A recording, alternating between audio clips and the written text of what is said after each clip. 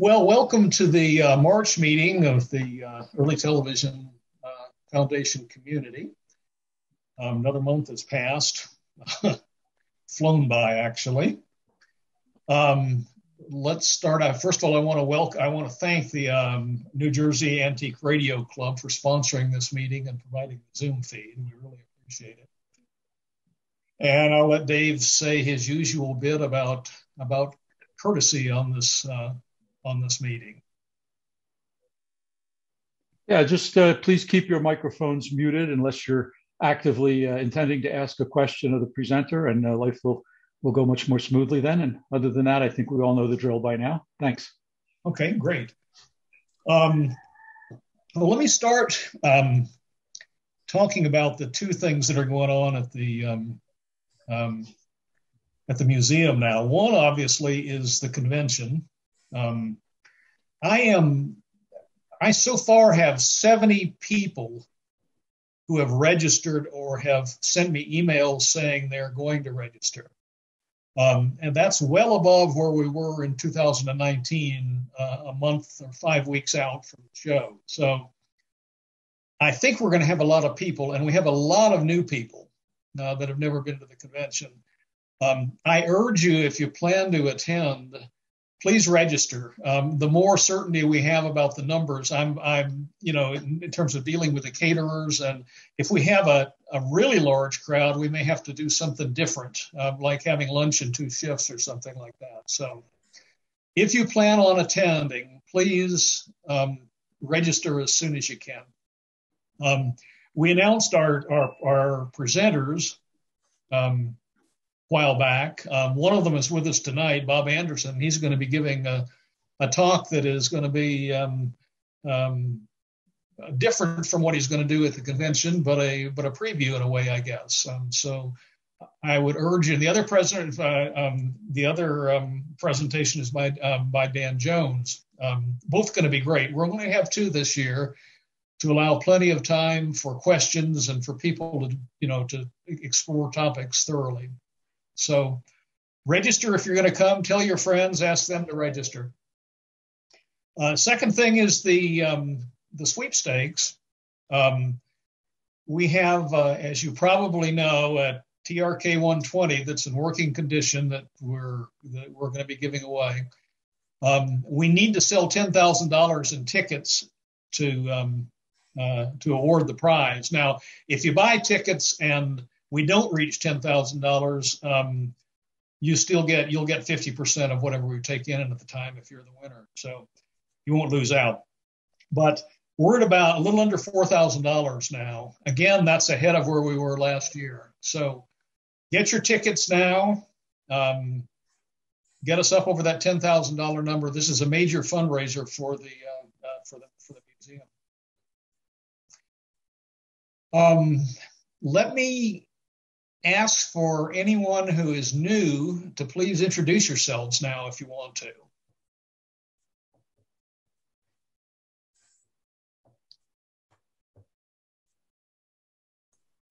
I, I, am not new, but I haven't been on the call in a really long time, Steve. So, hello, everybody. Good to see you, and I'll see you all at the convention. Uh, I'm Al Legowski. Hey, Al. Good to see you. I'm uh, Neville Greeno, a member of the New Jersey Antique Radio Club, and I'd certainly like to listen in. Welcome, Neville. Uh, Doug Poray, also a member of the New Jersey Antique Radio Club, and uh, this is my third or fourth meeting. Great, glad to have you. I'm Jim McElvain. Uh, I'm new, uh, first time, and uh, wanted to check everything out a little bit because I was intending to uh, register for the convention. So thought I'd take a look. Great. Paul Mondop, New Jersey Antique Radio Club. Thought I'd listen in once again. Right. Welcome.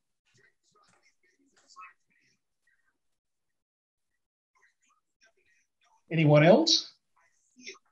I'm Len. I'm uh, a member of the New Jersey Antique Radio Club. First time here. Welcome. Well, if there's nobody else, um, let's move on to the item that um, I'm going to highlight in the museum's collection today. Um, Larry, are you? I see from your picture you're you're in that area. Um, today, I'm going to uh, talk about the um, um, RCA trinoscope that we have in, at the museum. This unit has been was in Danny Gustafson's collection, and um, um, it was the, the whole collection went to Ed, Ed Alfonsi, who sold most of it, and he's loaned this to the museum. Um, and I haven't heard from him in several years, so it's been here for many many years. Um, this is um, one of RCA's early prototypes for how to do color TV. And, and they, they made a number of these. They made, Ed Reitan did some research and discovered 15 of them had been made. And this is one of the last ones made. It was made by RCA Labs in Princeton, RCA Labs in Princeton. Um, and it was demonstrated with the FCC in February of 1950. Um, Excuse me for a second. Is is yeah. anybody else having trouble hearing Steve? Yes. Yes. Yeah. Uh, Steve, maybe maybe try to yeah, speak a little closer to your microphone. Word. Um, yeah, it's canceling you out. So try to speak closer and see if that helps. Okay. Does this does this help any? We'll find out. Is that any better? Yes. I think it was just when you were turning your head, you it's drop. directional. Yeah. Oh, okay. That's then that's that's the problem. All right. Well, anyway, the trinoscope, um, as I said, was a very early attempt at uh, how to do color TV. And um, it consisted of three CRTs. Um, Larry, if you go around the back side, I think we can see them. Um, two of them horizontal and one of them vertical. Um, they're standard black and white CRTs um, with a color filter in front of each one, the three usual colors that were used in color TV. And then there's a mirror, half silvered mirror arrangement that projects um, um, the image. There you can see part see one of the mirrors um, up to the uh, screen, which is uh, folds out.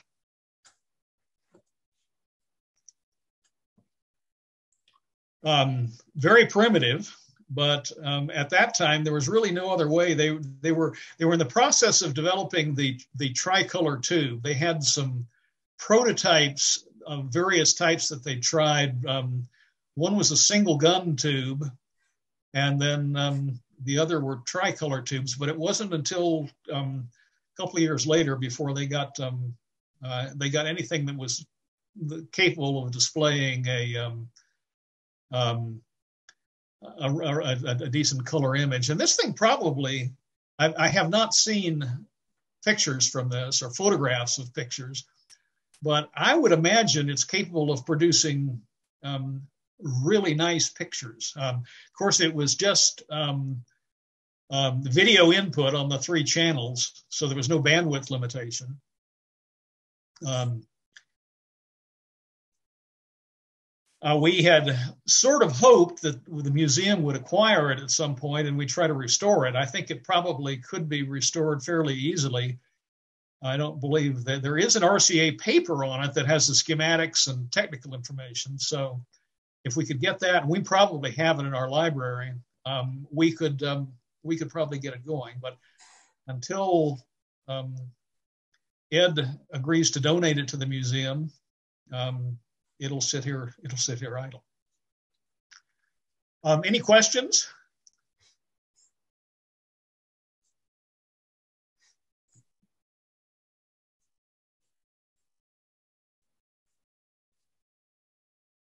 Steve? Hello? Sorry, I was muted. I'm back. Steve, Mike Molnar. Hey, Mike.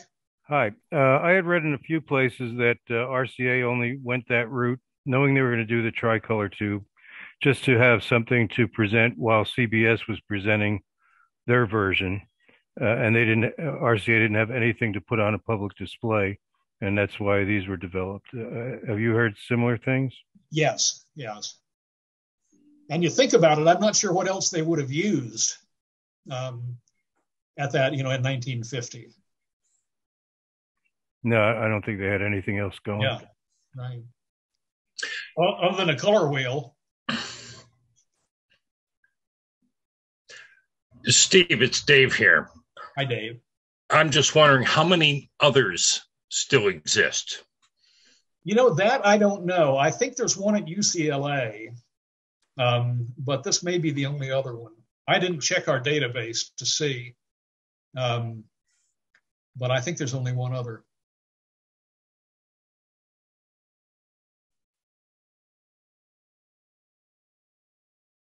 And do you do you know how Danny came into possession of these? no. Danny was able to get just about everything um, in various ways. Um, my favorite, I think, of Danny's acquisitions was the um, Purdue University CRT set that was made in the early 30s. It was it was a CRT receiver to be used for um, with their mechanical transmitter. Was one of the earliest CRT receivers, and Purdue loaned it to a museum in Chicago, and somehow it ended up in Danny's collection from there. Uh, and then when he died, um, um, Ed Alfonsi inherited it and was in the process of selling it to us when um, Purdue University disputed its ownership, and um, they nobody knew how Danny got it. Nobody could prove who owned it, and we didn't want to be involved in any kind of a controversy like that. So we just backed out and let uh, Purdue deal with with uh, with Ed. Um, and Purdue did end up getting the uh, getting getting the getting the receiver. So I have no idea how he got it. Dave, Dave uh, I can I can tell you a story. I don't know if it's the story about that set, but I can tell you a story about a trinoscope um, a fella, fellow who used to be the president of the uh, New Jersey Antique Radio Club used to work at RCA Labs in Princeton. And one day they were, you know, uh, on their semi decade cleaning out the basement and they had some junk that they wanted to get out of there. And one of the pieces of junk was a big gray cabinet with three CRTs in it, uh, which Jim Whartonby happily humped out of the basement and threw into the trunk of his car. And uh, he never did tell me who he sold it to, but he did say that it funded his antique radio collecting for probably the rest of the decade. well, since it was from Princeton, um, and um, this one is from Princeton, um, then um, I think there's pretty good chance it's the same. It's the same set. I'll check with him and see if he has any more details he's willing to okay. share. All right. Perfect. Any other uh, questions? What about convergence on that kind of set? I think you'd have to sit in X marks the spot to get the colors to line up. That's an interesting point. Um, the um, it would require very precise adjustment of the height, width, and um, uh, and linearity and and and position. Um, but I would imagine it could be done. You know, they that they could do a pretty good, precise job of scanning even in 1950. So, but you're right, it probably took quite a bit of time. I have enough trouble with one CRT, let alone three. right. Right. Well, I ran three CRT projectors in the 90s and the early 2000s, and it was always an or, a lengthy ordeal to get them to sort of come close to lining up converging and it never it was not technically possible to ever get it perfect and they had a thousand adjustments engineered into those things you should have tried the Eidophors. They were a dream, a bad one. Well, we used the PJ 5050 uh, GEs occasionally. I never had the pleasure of using an Eidophor. I think I'd be afraid of it. The Eidophor is a wonderful physics project. A science project, actually, I think. It was an amazing machine. I, I took care of the ones at the Coliseum in Richfield for probably 10 years. I had one at uh, University of Michigan postgraduate medicine, and uh, it was just a fantastic machine. You didn't even have to dim the lights. Oh yeah, it was. Well, you got the full brightness of the xenon lamp. It was, from what they told me, there was one engineer who developed the whole thing all by himself, which is crazy. Made by Gretag in uh, Switzerland. Yeah. And they, they were up to a million bucks, I think, at the end of the color Yeah. ones. You had to be part. The whole elec- concept seemed crazy. yeah, to be part electronics tech and part physicist to make the thing work. Yeah, the electronics are made by Philips. I used to be in the concert sound business back in the 70s, 80s, and 90s, and a lot of arenas had Eidophors in them, and they really did make an amazing picture. We've got one of the GE light valve projectors at the Texas Broadcast Museum. It makes an okay picture. Actually, it works, which is pretty amazing to me. Just the whole idea of, you know, making a picture out of a bath of oil inside some kind of weird tube that's kind of a CRT. It's like, I wonder what they were smoking when they thought of this. It's all in the oil. right. And there's a story about the uh, Russians had a uh, Eidophor and then they wanted to order a couple gallons of oil from uh, Gretag. they said no.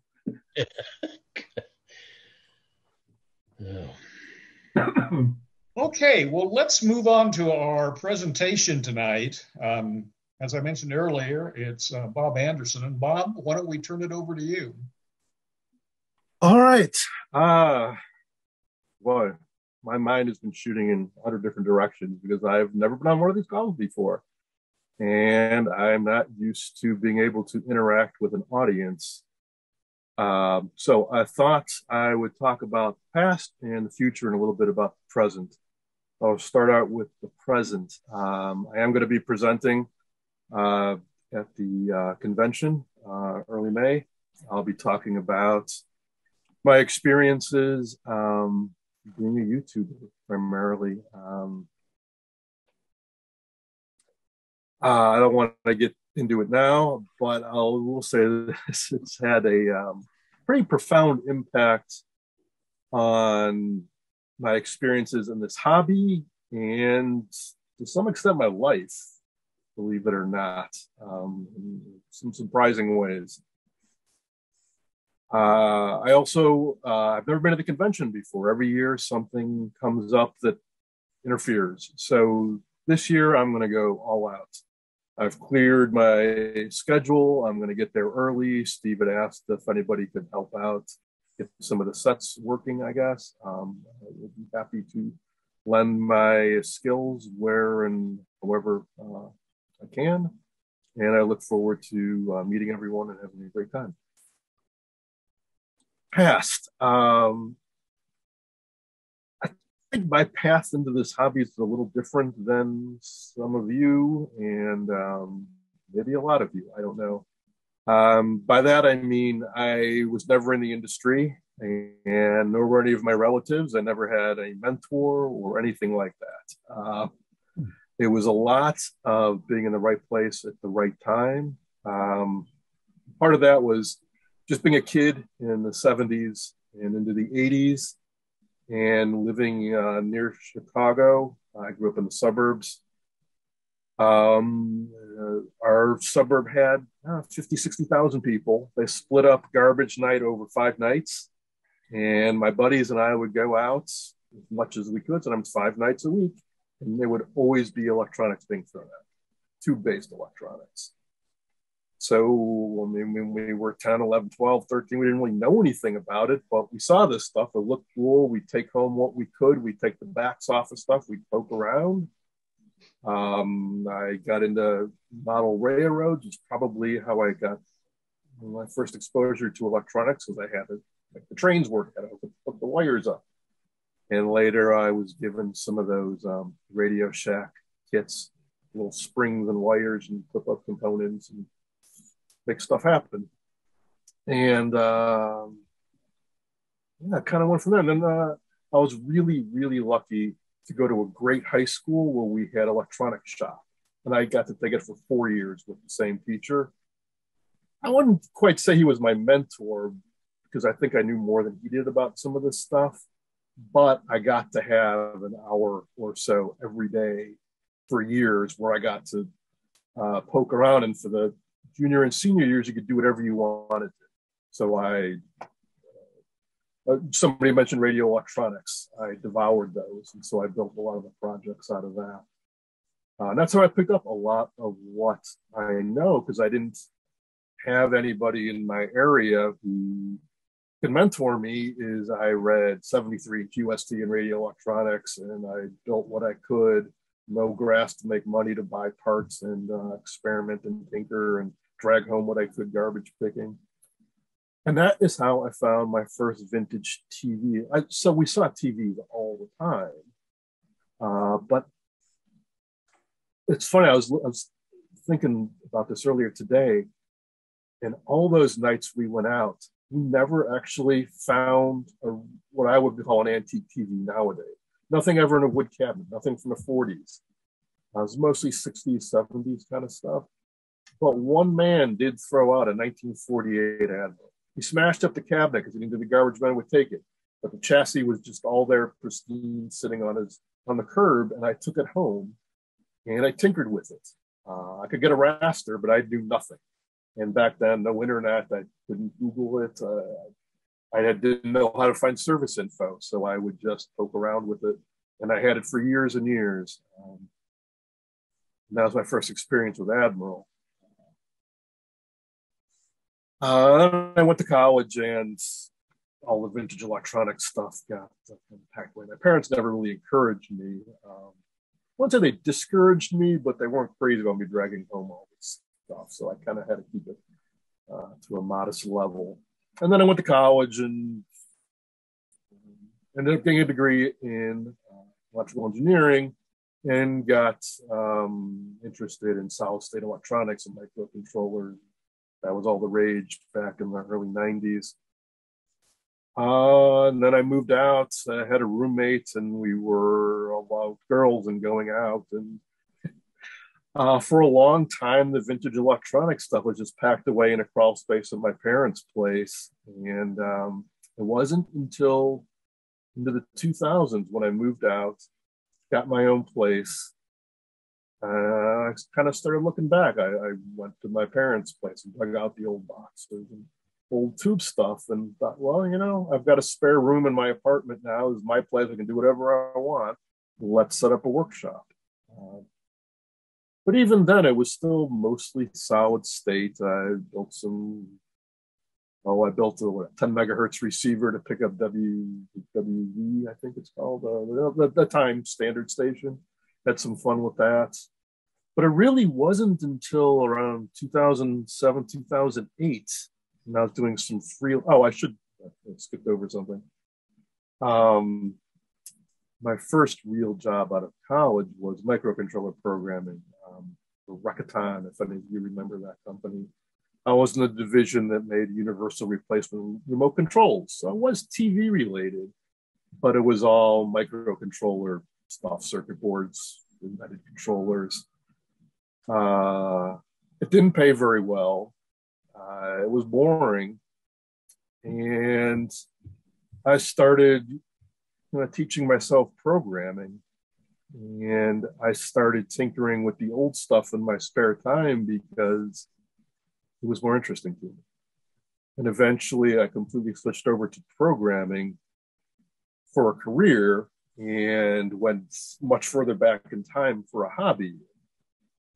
So that's advice I've heard over and over again is uh, it's best to have your hobby not be your career because um, you don't want to work on something all day and then go home and expect to have fun doing it in your spare time as well. um, so anyways, flat, flat, flashing forward uh, to around 2007, 2008.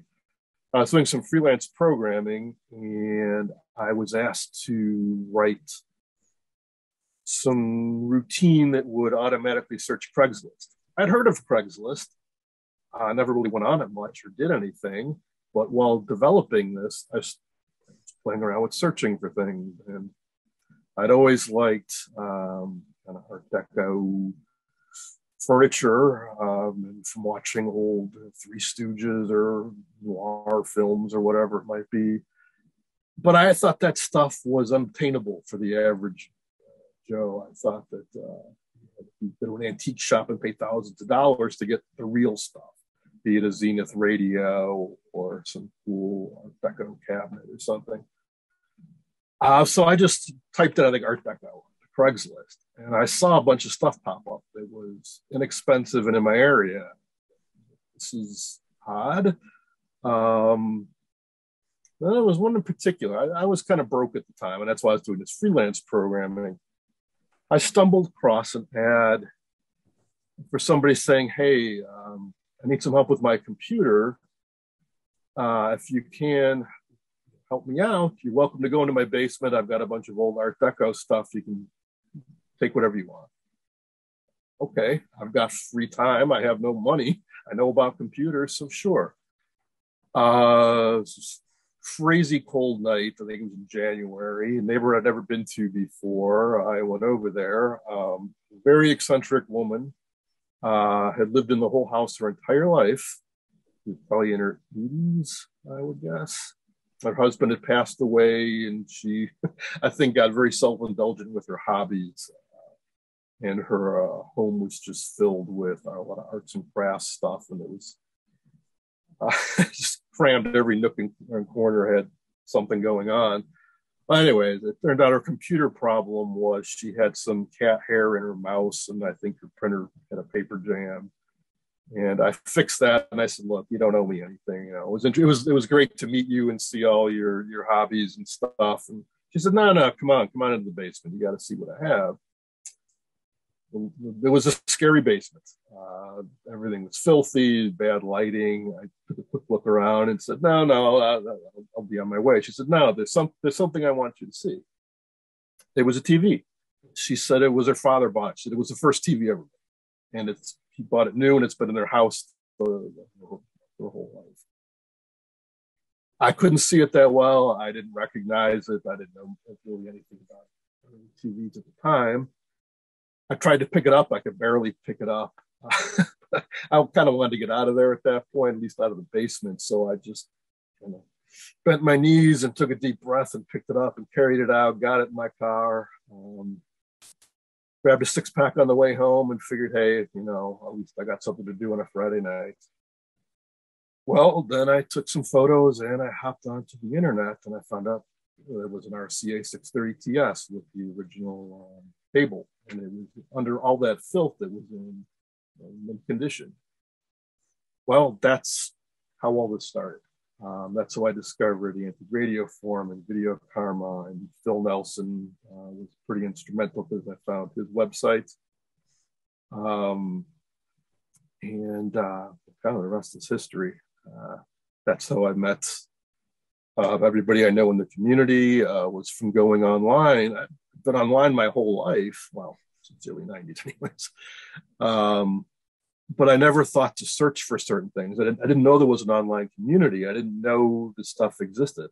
I'd gone to Ham Fest and Computer Fest, sure, in the 80s and 90s, but I was more interested in computers and the cool new stuff and uh, ham radios and whatnot. And it's weird too, looking back, I don't think I ever saw an antique TV at all the ham fest I went to. I used to go to all of them around Illinois, uh, Wisconsin, Indiana. I was so, me and my buddy sold at a lot of them. Um, and then growing up in Chicago, where we had Admiral and Zenith and Motorola and so many others, all this stuff was under my nose for all these years. I just never saw it until I just happened to stumble across something on Craigslist. Then I started searching on Craigslist. I was like, oh, stuff everywhere and that was another phenomenal bit of luck is well for me i mean not for most people was with the financial financial crash in what 08 is people went into their attics and their garages and their basements and were selling stuff because they had to pay the mortgage get the car fixed. There were tvs and radios for sale like crazy. A lot of what i got um, was in that time period 08, 09, 2010. And that's when I started making YouTube videos too. It just kind of became a weekly thing is I get, I'd find something during the week. I'd wait till Friday night. I'd record it, crack open a beer and edit the video and then wait for the comments to come in. so that's how it started. Um, now, jumping forward to the future, so I say my mind was shooting all over the place because um, I've got a lot going on now. Uh, one, I've decided life's too short, and uh, I've been focusing less on work and programming because I, when the pandemic started, and I, have been working at home for two years, um, I figured, okay, now's now's a good time to catch up on my programming skills and catch up at work and learn some skills and stuff. After doing that for a while, I got to thinking, been doing that for a long time, and I've got a lot of cool projects I want to get to, and I have more fun doing that. So I'm going to start focusing more attention on what I enjoy the most doing. Well, I mean, I enjoy my wife and our dogs and all that too. uh, it's something I enjoy doing. I would say that. Um, so um, I've been remodeling the basement down here. I'm sitting in front of a new workbench I just finished uh, a few weeks ago and I really want to start diving back into. So there's a lot of these sets I've picked up for the last 15 years. I haven't touched them. Some of them I got them and they went into storage, and I haven't seen them in over a decade. I want to get that stuff out. I want to get back to all that stuff uh, and share it with everyone. I've also been uh, very lucky lately. I, I, get the impression uh, something I want to um, I'm used to just recording my face or not my face and just showing stuff and getting it out there and getting comments. I never get to talk to anybody in real time about other experiences. And for me, my, the golden era was around 2009, 2010. Um, I've heard other people say things were great in the 80s or the 90s. I, I don't know. So I'm curious to hear what what uh, your experiences have been. I know prices have, have come down, unfortunately. Uh, but something else I have in my various Craigslist adventures, and now people have reached out to me, is that I think there are a lot of basements like this. Maybe not a lot, but at least some, where guys have um, created their man caves, their their workshops, and they have a lifetime of amazing stuff they've assembled. Not just TVs and radios, but tools and, and documentation and parts and stuff. Um, and a few weeks ago, I was contacted by somebody who said, Hey, their, their 96 year old uncle had passed away. And he had one of these amazing basements. And I was invited in. He said, Hey, I, have known him before. We, we've had some other interactions. Uh, I never got to meet his uncle, unfortunately. But he said, Hey, I like what you're doing. I know it's going to be in good hands. Whatever you want, it's yours and that also got me kind of re-energized me so what, what kind of what i'm getting at here is now that this pandemic is fading away um, i'm really energized about the future.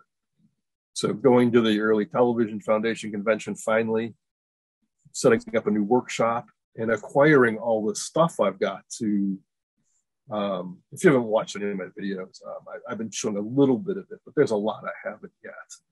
Some of it is all around me right now, but really good tools, really good parts, stuff made in the 30s, 40s, 50s. Things like a bench vise, but just a really, really good one, one that I couldn't afford to get, or, or, or hand tools, or drill bits, just everything that I could basically a man's lifetime of acquiring stuff. Now I was blessed to inherit it, I guess you could say, and I want to put it to good use. Uh, so I want to get back to some of these more heavy duty projects. Now, you can probably see there's Predictas. See, I think, two behind me. There's four more in front of me, and I got six more in another room. It's because uh, there are very few antique TV repair guys um, that will do it for customers. Uh, and apparently, there's a pretty big demand for it at least for, for the eye candy. You know, people like these because they look cool. So um, I've kind of put my hat, uh, thrown my name out there um, various social media. That yeah. In the past, I was a little bit reluctant to. Some people I had waiting for, for several. The longest guy was over three years before I finished the set. Partly it was I got bored with it, or I can't get the right parts, or I get frustrated because it's got problems. But now I'm kind of re-energized and refocused, and I want to try to divide my time between doing stuff for customers and doing my stuff. The cool sets that I've picked up over the years that some of which I've never shown that shared with anybody. Um, but I, and I want to engage more with the community too. I, I regret not being on these meetings um, earlier, and I will uh, try to continue to um, join in on these meetings and get to know you all um, better and uh, contribute what I can to the conversation. And I'd love to hear more of what you all have to say too, and what you know, learn what what your experiences have been. Um, I got some friends too, or at least one friend, and hopefully one new friend who are interested in this kind of stuff. I want to try to get them uh, kind of more uh, energized too and engaging. Some younger folks. Uh, all that. I'm 53, by the way. Um, I know a few other guys in the area, and it's weird. It's it's like I, I saw I know Al. I saw him on there, but uh, boy, things have really died down in the forums a bit, and uh, I've been kind of wondering why that is exactly. Um, and that's why you know why I'm curious about going to the convention too. I was glad to hear that attendance um, sounds like it's going to be pretty good. Um, as I've noticed, things have really dropped off on Craigslist. Uh, I mean, of course, you have you know with the pandemic going on and stuff, but even before that, and I'm wondering, is it because things have shifted to eBay, or has the supply really dried up? On the other hand, I know unfortunately collectors have passed away, and there's you know sort of a big glut of, of stuff shows up too. So I I kind of really don't know where things are at these days in terms of interest in the hobby and supply and demand and, all that. Uh, I'm positive about the future, anyways. Uh, so again, I will be presenting um, this year. I'm going to talk about um, how I got started uh, with YouTube, the technical challenges, how things have evolved, um, with the technology over the years. And I want to talk a lot about the social impact of it, uh, of getting out there and the, the, kind of people who are watching the videos, the feedback you get, and how, how to deal with it. Uh, I think that's about it now. I, am certainly uh, open to any questions you might have. Uh, I've never had an audience, live audience before with people asking questions. So uh, anybody- comment on your uh, your point about shifting from different things. I think a lot of the stuff is on Facebook Market now. Okay. I don't know if any yeah, other people have seen that, but I find I find a lot of the stuff on there. You just reminded me of something that uh, I'd, I'd I thought I'd gotten over, but um, there was a Raytheon early Raytheon color TV on Facebook Marketplace in my neighborhood, and somebody tipped me off about it. And I worked out a deal to go get it. And people were really excited because they knew that I would share it with everybody and show it. And somebody got it. It wasn't me. But he contacted me about it. And he's like, oh, by the way, I'm the guy who got that TV, just in case you were wondering. Uh, and I said, you know, I had a deal worked out. I was in my car. I was literally on the way to go get it. Uh, so I'm kind of ticked off right now. And they said, oh, well, you know, I, I, I didn't, I didn't know. Actually, I think he knew that I had a deal too. I think the seller told him like, hey, I already made a deal. And he offered him like $50 more. I said, hey, I would have matched that. Uh, and I said, anyways, long story short, it turns out guy knew nothing about vintage TVs. He was in his early 20s. He had no idea what he was doing. Uh, he'd gotten a bonus at work and he decided that um, she just wanted it. And I said, Look, uh, here's what's going to happen uh, nobody's ever going to see it again. And you may very well damage it. And he said, well, well, you can come over if you want, and you can take some photos and YouTube videos, and you can share it. I said, well, um, I'm a little PO'd that um, you kind of stole it out from under me, so I don't really want to do that. Uh, and he said, well, don't, don't worry, I'll take good care of it, and I'll I'll take some photos. I'll get on the social media.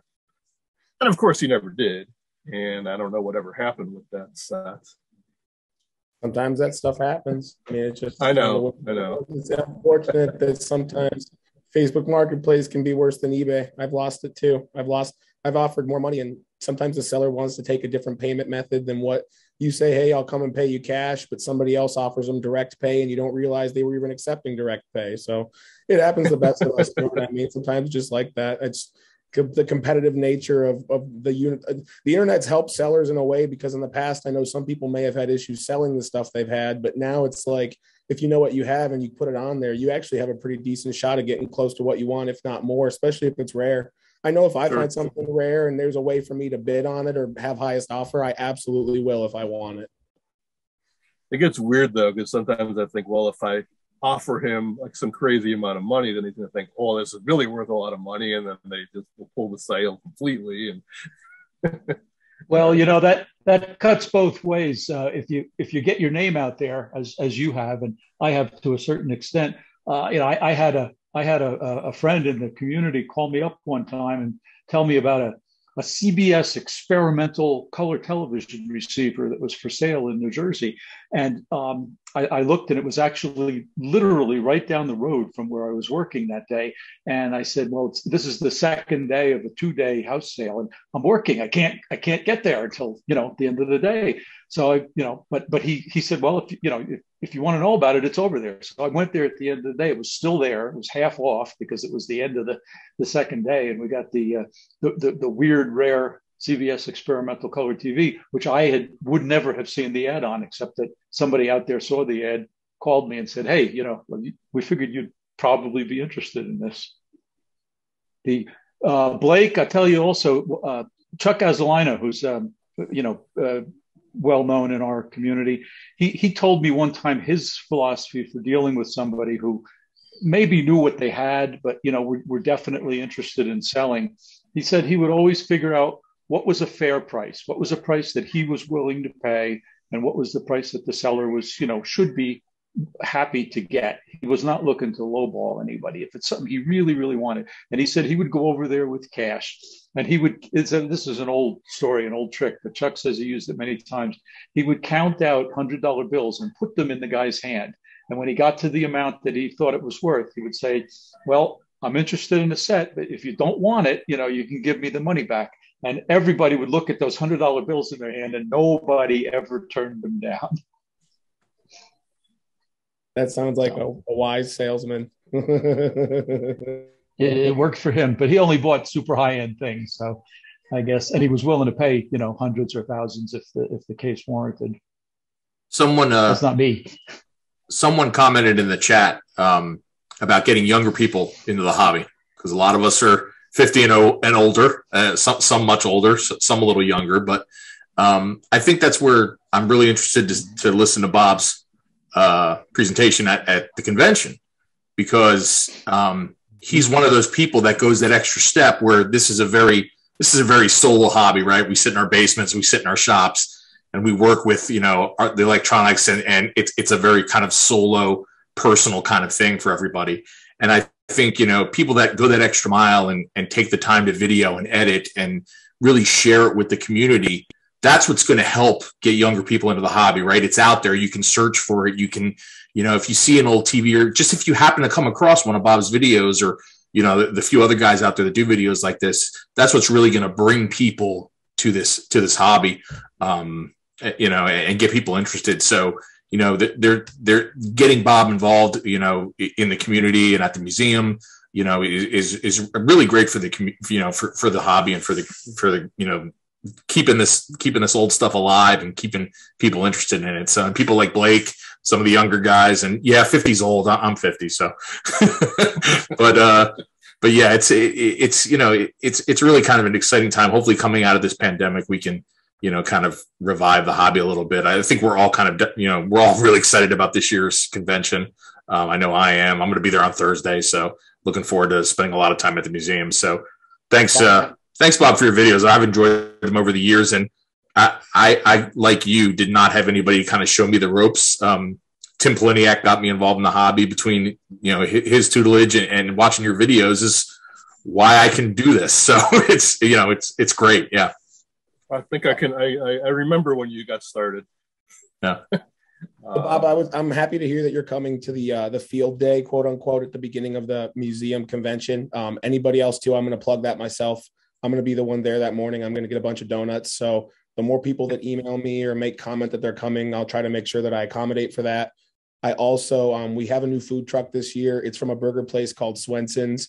It's a really really famous place in Akron. It, um, a lot of Cleveland locals go will drive to Akron, and they've actually come up into Akron from to Cleveland now just because they're um they're so well known. But at any rate, they're in Columbus now too, and they have a food truck.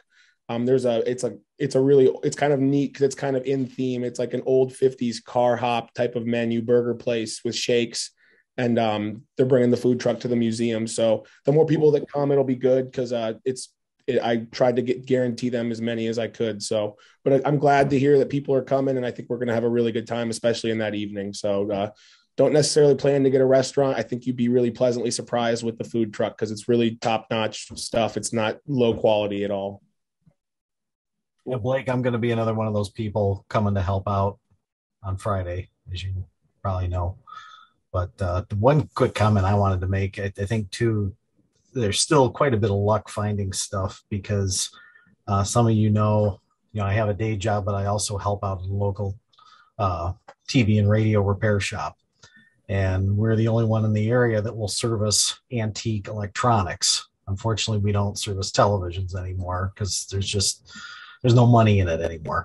So we quick completely dropped the TV part, but a lot of people still call and say, Hey, I got an old TV. Do you know anyone that would want it? Or we've had people just drop off boxes of tubes and stuff. And, um, you know, I've got an agreement with the owner. He'll take all the audio tubes and stuff that he needs. And then whatever TV tubes he has left over, he just gives them to me. So, um, you know, the stuff is still out there. In fact, just today I was over there and one of the other texts says, Hey, did you see this new Admiral that came in? no, I haven't. And it had a TV on one side. I think Al Hagovsky did one similar to it. See, Admiral, it's got the record player on one side and it's got the TV in the other. And fun. he says, "Yeah," and the guy wants to wants us to rip the TV out. We're like, why? so we said, yeah, we could probably fix that. I mean, Admirals were pretty solid sets and that, and so we put it on the Sencore and turned up the voltage, and hey, it gets a raster. So yeah. So we're gonna try and hopefully talk the guy down from the ledge and get him to restore it instead. Because yeah, you could hook a VCR up to it and still use it. Uh, this is Nev Greeno. I, I really, Bob, I really enjoy your videos. Uh, frankly, I'm in awe of your ability to service and edit and uh, and and do these things, and it looks so focused uh, you zero right in on the issues and deal with it. But I really and like to ask the behind the curtain question: How much of that is in the editing, and how much ends up on the cutting room floor? Uh, yeah, that's a good question. I've gotten better over the years, but yeah, of course, you only see what I decide you're going to see. um, I will say this though I've never really screwed anything up. I've never dropped a picture tube or. Uh, uh, I think I've gotten everything to work that I ever started restoring. I don't think I've ever given up on anything. That being said, though, I kind of I choose what I'm going to work on. You know, I, decide that I'm going to make it work. You know, I already kind of know what condition something is in. Uh, but yeah, uh, how much ends up on the edit? Probably at least half. It used to probably be about 75% of what I recorded got thrown away. Uh, I've never really done a blooper reel, but oh my, uh, I've had to re-record something maybe 20 times because I keep stumbling over a word or saying the wrong. I mean, you know, just like you've seen other blooper reels, I do that too. and uh, it is a. That's why I would sometimes have a beer before I start editing a video because it could be an ordeal to have to hear yourself making a mistake over and over. Well, hey, Bob, you can take that as a pretty high praise because I'll embarrass uh, Neville here and say he didn't introduce himself too much. But if you Google his pedigree, he's um, he's he, he's not a dope.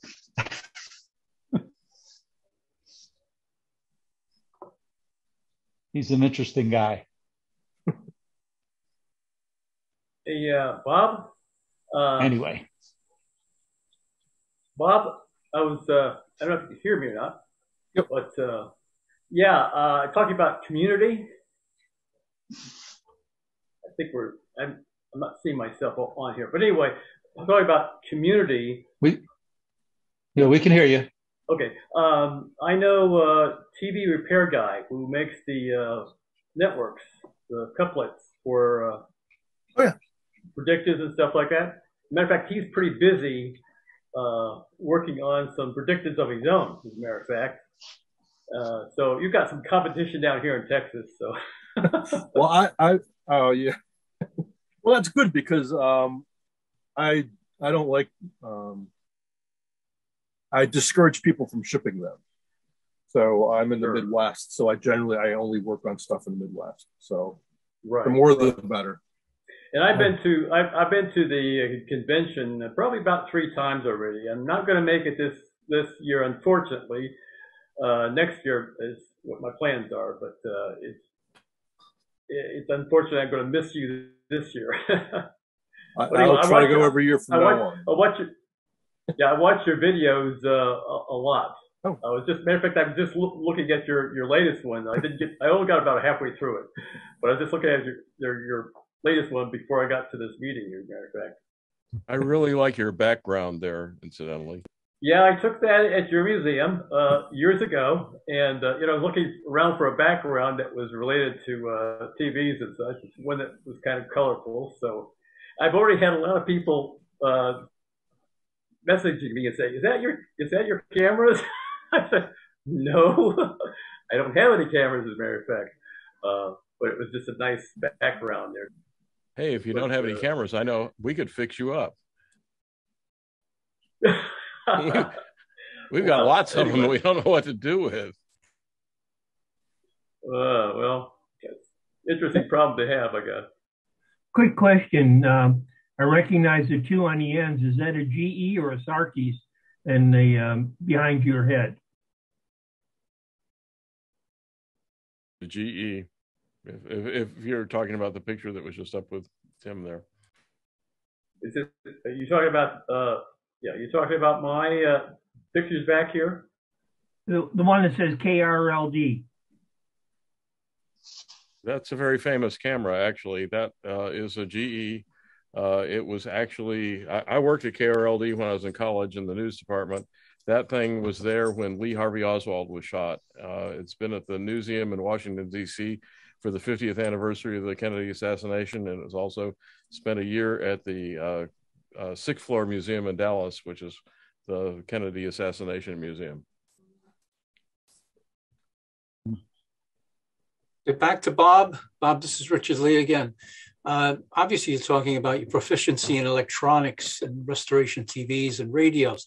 Some of your earlier videos um, I've, I've looked at and really were impressed by is your proficiency also in cabinet restoration.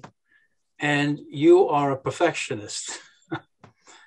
and I remember one, uh, one episode in particular where you're talking about fisheye in in a, in a finish, and I believe it was a a blush having to do with uh, shellac, and there was just a little area that you saw fisheye. Nobody else did, by the way, Bob, but you did.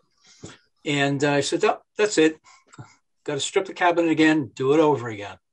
So uh, you are amazing when it comes to that. So Thanks. I think I know that cabinet you're referring to, and I refinished it three times. And I sold it to somebody who's not my best friend. So that worked out well. Uh, I have not done any refinishing, not not major since we moved. But uh, some another long overdue thing is uh, I want to take half the garage and make it into a refinishing area to do some of the larger cabinets. Ooh. Yeah, that's a challenge. Hey, I Bob, I got I got a question. Um, you you say you're setting up your new workbench. Um, I'm setting up a, a new workbench now because we just moved, and I've I haven't really had a proper workbench set up in in years uh, through the last two moves actually, and I'm really looking forward to getting it set up just right here. And I I've never really figured out if there's a best way to have it arranged. I've always had, you know, my meters and my oscilloscopes and whatever, but I'm just curious if if uh, if you or anybody else on the call here actually has thought this through, you know, and what's what's a good spot? I mean, do you stack everything up on the wall or do you keep it movable on the bench? I've done it both ways, and it always seems to be the way it happened as opposed to maybe the best way it could have been planned. Well, I can tell you what I what I have decided to do is I left the workbench bare and just started working on projects. And as I'm needing things, I just grab them and start putting them where they seem they should naturally go. And I figure after a couple months of that, I'll kind of feel out where things should be. Uh, I don't know if that's going to work out, but that's how it has been so far. That's actually really good advice. But one thing I would recommend is make the bench deeper than you think you need it because for some Hmm. reason all the stuff that you've got the test equipment and stuff takes up a whole bunch of the bench and all of a sudden you find you've got 18 inches with this giant tv on and that doesn't work out real well That's great Yeah. advice. That's it great advice, matter. Chuck. And, Look, and it doesn't Dave- matter if it's six foot uh, deep. It's you're still going to fill it up. Yeah, that's great advice. And Dave, too, you're going to find it's an iterative thing. You're going to get it set up, and then after a while, you might obtain other pieces of test equipment, or, uh, you know, just depending on what your needs are, you may be reorganizing it or re relaying it out. Well, I- I've been That's- I've iterating for for decades now. Yeah, I've been, I've, I've been iterating and frittering around for decades, and it it always seems to migrate and move. But I, the way what I've kind of settled on is I keep two sets of shelves behind the workbench, and that holds all the smaller meters and power supplies and things. And then the biggest big oscilloscope obviously goes on the bench or on a on a cart. And of course, the big oscilloscope is about this big now. But uh, yeah, um, it just seemed to be the way that it, it fell into place for me. But carts are uh, great. Always looking for other opinions. Yeah, I haven't uh, got a workbench set up, but this just triggered a few brain cells about how we worked in the lab at Zenith.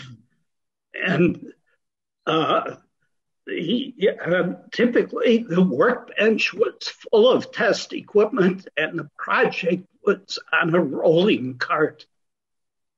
And, and that seemed to work out well. Yeah, Wa- uh, Wayne is absolutely correct. If you can find some old AV carts like you used to wheel mm-hmm. into classrooms with a 16 millimeter projector, you can find those things cheap. There's a surplus store near us. We've got about 30 or 40 of the things. They sold them to us for like 20 bucks a piece. They are the greatest thing since sliced bread because you get into a project where everything's going fine and all of a sudden you get to a stopping point and you just can't go any further because you don't have the parts or, or whatever uh, have this thing on this cart, you can wheel it out of the way and you can go on to the next project. They really, really help. Uh, highly recommend carts because remember, nature abhors a vacuum. Just always remember that. So if you've got space, something's going to fill it up.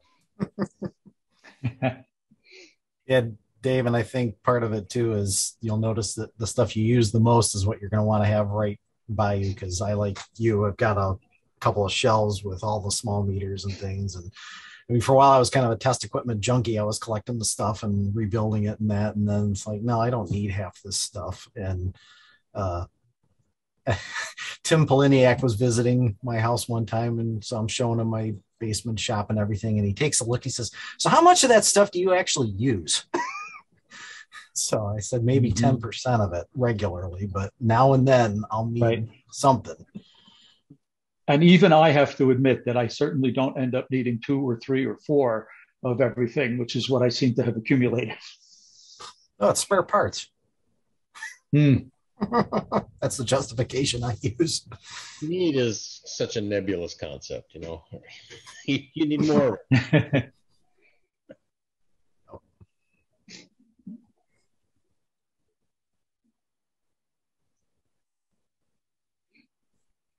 Well, I convinced myself that I needed a spectrum analyzer when I ran across one one time, and then I realized I didn't have any earthly use for it in anything that I did. But I found a friend who needed one and traded me an Atwater Kent breadboard for it, so it worked out well. Hey, don't feel too bad. I got one too, but frankly, a Simpson 260 voltometer is your best friend. That and a soldering iron and a set of Xcelite uh, uh, nut drivers, pair of dikes, and some needle nose. That's about it. Well, I don't know. Well, let's ask Bob again. He's our uh, featured speaker here. I'm an oscilloscope guy. I, I always tell people if I can see what's going on in there, I can usually even even I can figure out what the hell is going on. If I have to rely on my training, which I have none, I'm in pretty deep trouble most of the time. Well, a, a scope and a tube, good tube tester are also really handy to have, especially a Hmm. CRT tester these days. Yeah. Bob, what do you what do you use most often? Oh, Bob's not there. Bob's invisible. No, I'm getting what There I use is. most. Ah. Kilroy was here. Bob was on the floor. I'm on the floor because I cleared floored off by the this desk to uh, set the laptop up to do this presentation. Uh, Hey, Dave. Dave, remind, um, or I'm reminding you to remind Bob what uh, oscilloscope you picked up a few years ago on eBay and the reason you got it. You're talking to me? Yeah. Uh, I may have an oscilloscope, but apparently I don't have any brain cells working right now. Which oscilloscope did I pick up on eBay? You told me you saw it on Bob's bench. Oh, I bought a I bought that uh, HP uh, that semi-digital scope that you were uh, you were very fond of uh, a while back. Yeah. I'm not as fond of it anymore, but uh, yes. I'm glad you- Well, I've I've since upgraded to one of the three hundred dollar uh, Chinese scopes, but I was absolutely um, seduced by the idea of being able to do cursor measurements of uh, voltage Yeah. and frequency on the screen, which my my five hundred pound Tektronix scopes cannot do. We're talking about an HP 54600D or that series. Yep. Which is what I used in college, and it's it's got a button. You just push it, and it generally gives you what you want. I love it. I abs- and it's lightweight. absolutely love it. Yep. Yeah, I got that recent- from you a long time ago. Uh, recently, I was given a Tektronix 545, I think, which has phenomenal analog bandwidth, 300 megahertz or something crazy like that. And I, I put some video signals into that thing, and I'm like, oh, now I see what people are talking about. it's just beautiful. It's got a lot of problems, but it works well enough that I can use it. Uh, but anyways, you asked about tools. This is like 95% of what I need needle nose, little nippers. These are from Arts and Crafts Jewelry, and then a quarter inch nut driver. So, like, I'm working on uh, six Predictas simultaneously right now. This is this and a good soldering, uh, temperature controlled soldering iron and a roll of solder. That's pretty much all I've been using. And you got your wire wrap tool too. I do now, yeah. Gotta have one for I- Predicta. I didn't for a long time. I just used the needle nose, and now I feel like an idiot because yes, that tool. Uh, I've been I've been using it to wrap a little bit too when I can. Um, leads tend Put me off was put me off was the price of those darn things. I mean, if you're buying them new, like from Mouser and that, I thought, yeah, Well- really this much for this little tool, but it's more than paid for itself. This is the one I'm using now. I think it was twenty bucks. Mhm. Uh, and you can un- it does both uh, wrapping and unwrapping. It does 22 to 26 gauge or something like that. It's not perfect, but it's it's good enough. It looks a lot better than anything else. So, Dave, you- Dave, you're not the only one that's bought equipment that you've seen in Bob's videos. I think my Fluke multimeter, my Variac, my CRT tester, my capacitor tester. I think all of those I hunted down after seeing Bob do cool videos on them. oh, there's a ripple effect. I've Well, yeah. the price go Yeah. up. Yeah. Well, you you know what they say, Al. You don't learn from others' mistakes because you won't live you won't ever live long enough to make them all yourself. That's right. I gotta say too. I mean, I didn't invent this stuff. I mean, I didn't discover a lot of the stuff I show you. It's I got it from other people, so I'm just passing it along. Uh, like old '64 goats. I mean, I was watching him 15 years ago, uh, and it's been cool to. Uh, and some of the stuff that like he had in his old workshop took me a long time to find, like his pyramid CRA1 capacitor analyzer. Those things are hard to find. I, yeah, I got one of those. Yep. Did you? Yeah. Or the the uh, the Midwest uh, cathode ray beamer that I recently got a long time. Oh, you got oh you've got a Midwest. You don't have the. Uh, no, I um, got. I didn't get the Raytronics. I got the, the the earlier one. The Raytronic. I got a scary Raytronic. new new in the box. Uh, how to get it? Wow.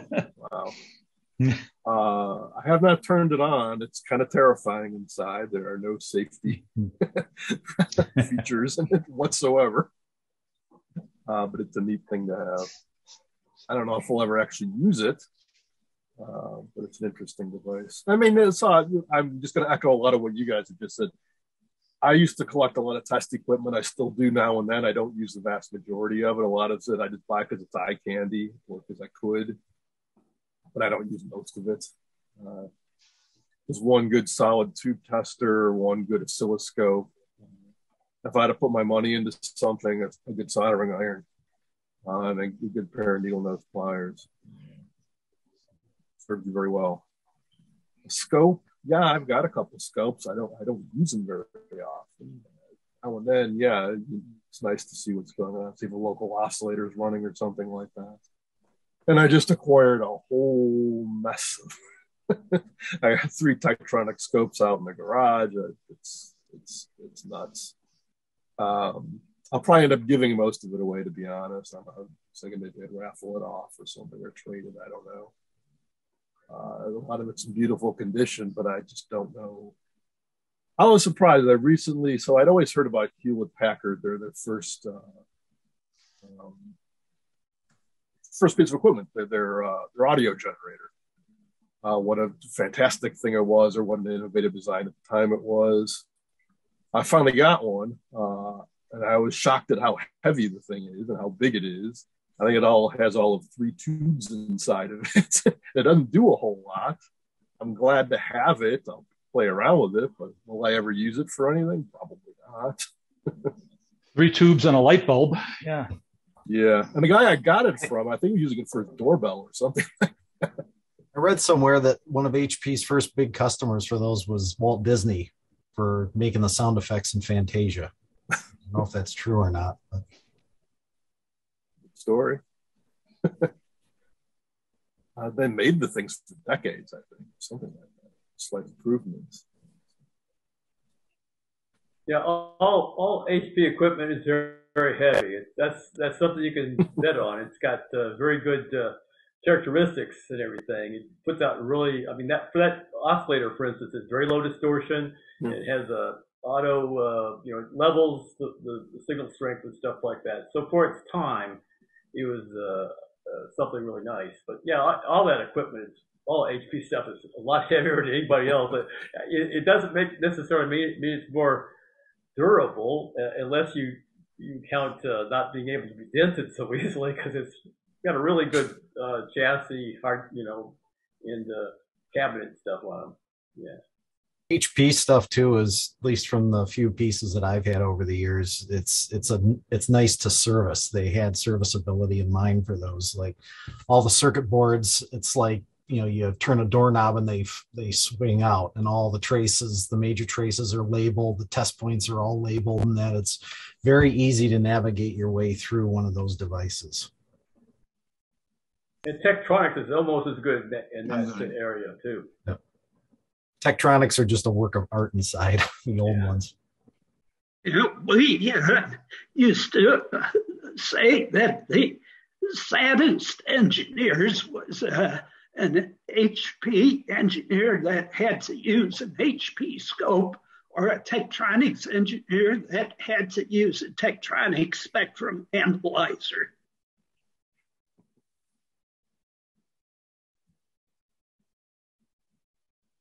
Tell you one cool thing is I, I saw a buddy over who uh, had been in the army, and a lot of the stuff equipment I got was um, military equipment, and he was impressed with how heavy it was and how complicated the dials were and whatnot.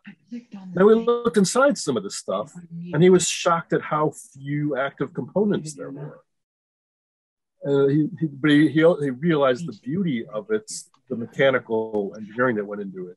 We, have, I have a couple Collins receivers, and we were looking at those. Like back then, they so they used to talk about low distortion or, or uh, you know, accurate dial tracking. It was beautiful engineering. Nowadays, everything is fixed with software.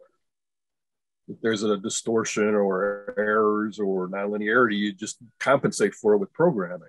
Back then, you actually had to physically solve the problem, compensate. You use a cam or something to make it to get a nonlinear, make a nonlinear action linear, or use a nonlinear meter. Um, so that's, that's one of the appeals to me is like having a TV work that has a dozen tubes in it versus a 10 million transistors. It's, it's, it's beautiful.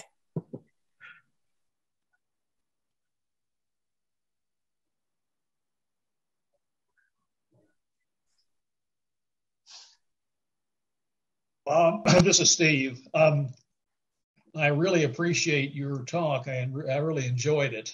Um, I'm going to have to go. So um, thanks again, and we'll see you at the, at the convention. All right. Okay, well, as usual, we can, Steve. Yeah, we can we can stay on and yak. Uh, we, I guess we can end the uh, formal portion of the meeting here, but uh, if anybody wants to stay on, we'll, uh, I guess we'll stop the recording and uh, you can hang in as late as you like. Well, Bob, I'm looking forward to sharing the stage with you at the uh, convention. So I think it'll be fun. Likewise. I'm sure it will be. Look forward to it. I'm going to go. It's almost bedtime. Or I'm going to go down into my shop and tinker. so, but it's good seeing everybody, and I'll see everybody at the convention in May. Looking forward to it this year.